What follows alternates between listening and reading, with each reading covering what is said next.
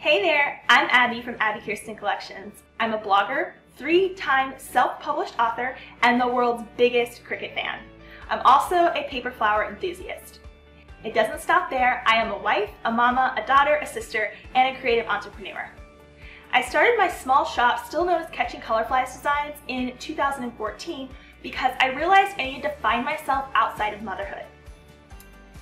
After a couple of years, my parent brand, Abbi Kirsten Collections, was born, and I have been immersed in a world of colorful crafting and creative ideas ever since. As far back as I can remember, I have enjoyed crafting.